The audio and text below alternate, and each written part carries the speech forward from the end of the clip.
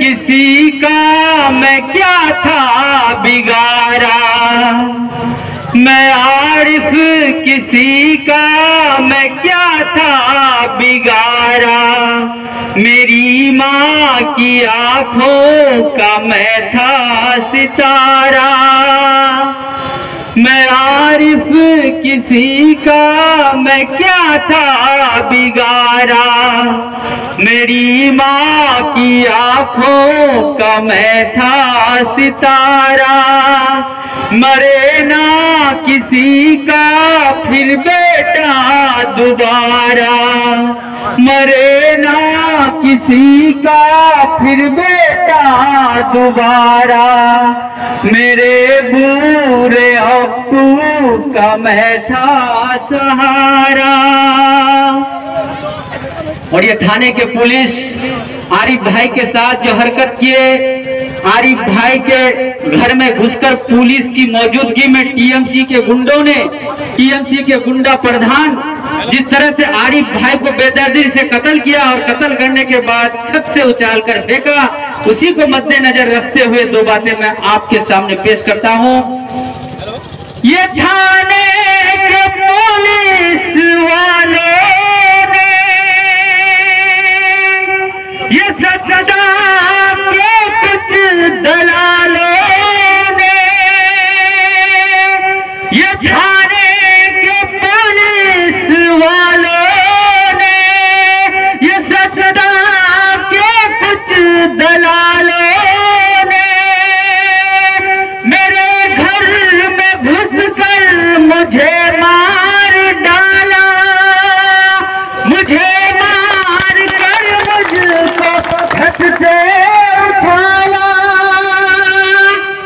मरे ना किसी का फिर बेटा दोबारा। मरे ना किसी का फिर बेटा दोबारा। मेरी माँ की आँखों का मैं था सितारा। मेरे ग्वाल पोखर तुझे क्या हुआ है? मेरे हाल पर क्यों तू सोया हुआ है? मैं रो रो के आरिफ यही कह रहा हूँ। मैं रो रो यही कह रहा हूँ। मैं मुर्दों की बस्ती को समझा रहा हूँ। ये विपरीत में बैठे सत्ता के लोग जो अपने आप को फिरौन समझकर बैठे हैं, जो ग्वाल पोखर के अवाम को चूटी के मानिंद समझते हैं जो जहाँ भी हो, जैसे भी हो, लोगों को कुचलते हैं, डराते हैं, धमकाते हैं, उसी को मद्देनजर रखते हुए मैं दो बातें आप लोगों के सामने रखता हूँ। ये विपरीत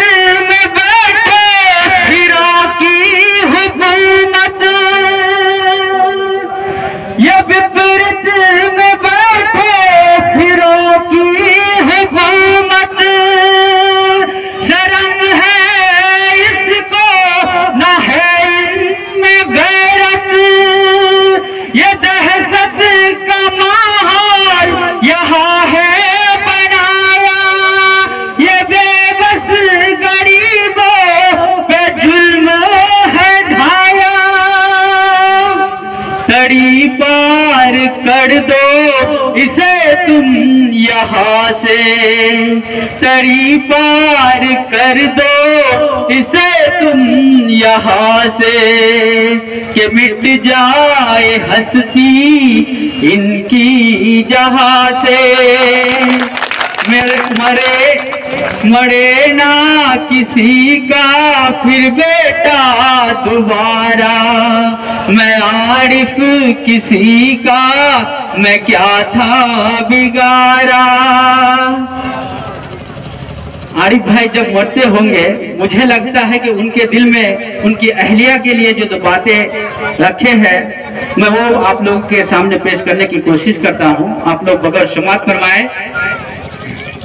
मुझे माफ़ करना है मेरे माही मुझे माफ़ करना है मेरे माहिन बिछड़ेंगे हम ना कभी आए वो दिन। मुझे माफ़ करना है मेरे माहिन बिछड़ेंगे हम ना कभी आए वो दिन। निभाना निभाना। था जो वादा निभाना सका मैं। किया था जो वादा निभाना सका मैं। खुशियों का कुछ दिन देना सका मैं। निभा किया जो वादा निभाना सका मैं। खुशियों का दो दिन देना सका मैं।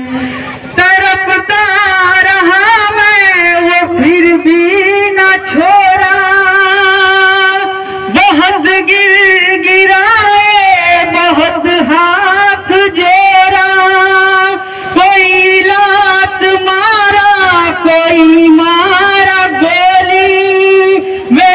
खून से वो खेला था होली। यही अब है लोग। के दलालों ने जिस तरह से हमारे बंगाल को बर्बाद कर रखा है कोई गोरी चोरी के नाम पर, कोई बालू चोरी के नाम पर, कोई कोला चोरी के नाम पर, कोई घर चोरी के नाम पर, यहाँ तक के लेटरिन घर की भी चोरी करके खा जाता है। तो इसी को मद्देनजर रखते हुए हमारे एक्स मेंबर जनाब रकीब भाई ने ये फैसला लिया कि आज के दौर में गांधी की दौर नहीं चलेगी। आज के दौर में नेताजी सुभाष चंद्र बोस को लाना पड़ेगा। इसी को मद्देनजर रखते हुए रकीब भाई ने मेरा नाम ऐलान किया कि आज के बाद, आज का 2023 का जो पंचायत इलेक्शन है, वो हमारे इल्मन हुदा कैंडिडेट रहेंगे वार्ड के। तो अगर आप लोगों की पसंद में हूँ तो आप लोगों को मेरा भरपूर साथ देना होगा। जिस तरह से आप लोगों ने मेरे एक आवाज़ पर यहाँ आकर हाजिर हो गए हैं। उसी तरह से आठ तारीख तक आप लोगों को मुझे साथ लेकर चलना है। अगर आप लोग चाहते हैं कि गोटी में एक नेता पैदा हो, हक और जुर्म हक और जुर्म के खिलाफ आवाज़ उठाने वाला हो तो आप लोग आठ तारीख को हाथ छाप के निशान पर वोट देकर मुझे कामयाब ज़रूर बनाइएगा। वरना किसी पेट भोरू नेता और किसी पेट भोरू प्रधान को वोट दे दीजिएगा अगर आप लोग चाहते हैं कि गोती में एक मज़बूत नेता की ज़रूरत है जो जालिमों के जुल्म के खिलाफ हर वक्त खड़ा हो सके तो आप लोग हाथ चाप के पंजर पर बटन दबाकर मुझे कामयाब ज़रूर बनाएगा। यहाँ जो है कुछ दलाल लोग पैसों के चक्कर में इधर उधर भटक रहे हैं। मैं उन दलालों से कहना चाहता हूँ कि तुम्हारी ये दलाली बहुत जल्द खत्म होने वाली है, क्योंकि अब गोती के फ़ील्ड में इल्मुल हुदा आ गया है। जो से ताल्लुक रखता है। एक ऐसा नेता जो अपने बेबाक बातों से करोड़ों दिलों पर राज करता है, मैं उसी का चेला हूँ। किसी पल्लू पकड़ने वाले का चेला नहीं हूँ।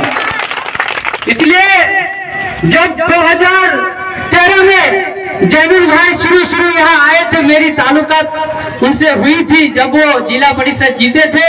जैनुल भाई के नाम पर जैनुल भाई के खिलाफ यहाँ के कुछ दलालों ने बोला था कि वो तो एक चोर है, वो तो एक गुंडा है, वो यहाँ आकर क्या कर लेगा? लेकिन मैं आज आप लोगों के सामने जो खड़ा होकर दो बातें बोलने की हिम्मत रखता हूँ तो ये जैनुल भाई का देन है। उसी जैनुल भाई ने, उसी चोर ने, उसी गुंडा ने मुझे सिखाया है कि हक के लिए किस तरह से लड़ा जाता है जुर्म के खिलाफ किस तरह से आवाज़ उठाया जाता है?